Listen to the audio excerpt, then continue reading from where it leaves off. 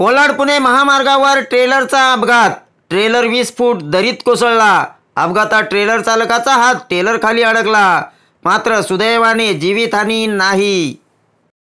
कोलाड पुणे मार्गावर दुपारी एकच्या दरम्यान कोलाडकडून भरधाव वेगात स्टीलच्या कॉईल घेऊन ट्रेलर विले येथे पॉस्को स्टील कंपनीत जात असताना पाळी फाट्याजवळ आला असता ओव्हरटेक करण्याच्या प्रयत्नात एका उतारावर अवघड वळणावर ट्रेलर चालकाचा ताबा सुटल्याने ट्रेलर वीस फूट खाली गेला. या अपघातात ट्रेलर चालक ट्रेलरच्या बाहेर फेकला गेला आणि त्याचा हात ट्रेलर खाली अडकून पडल्याने त्याला क्रेनच्या साह्याने बाहेर काढण्यात आले असून या अपघातात कोणतीही जीवितहानी झालेली नाही. चालकाला पुढील उपचारासाठी माणगावमधील उपजिल्हा रुग्णालयात दाखल करण्यात आले आहे.